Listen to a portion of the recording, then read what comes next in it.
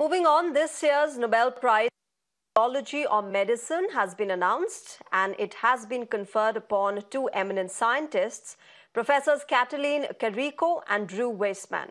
Their groundbreaking work in advancing mRNA technology played a pivotal role in the development of COVID vaccines. Prior to the pandemic, the mRNA technology was in the experimental stages. However, its rapid application and deployment during the pandemic has benefited millions worldwide.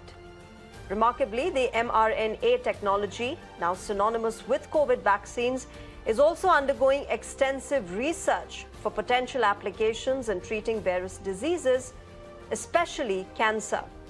The Nobel Prize Committee lauded the laureates for their extraordinary contribution, underscoring how their work significantly expedited vaccine development amidst one of the gravest health threats in recent history.